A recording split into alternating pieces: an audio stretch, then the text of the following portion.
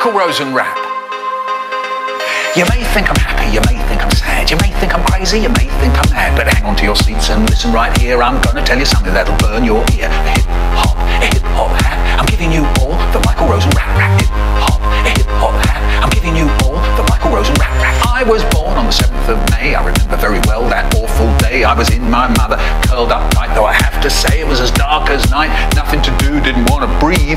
I was so happy, didn't want to leave. Then I hear some people give a shout, one push Mrs. Rosen and he'll be out. I'm telling you, that was a puzzle to me. I shouted out, how'd you know I'm a he? Doctor shouted, good lord, he can talk. I popped out my headset, now watch me walk. I juked and jived around that room, balam bam boola, balam diddy boom.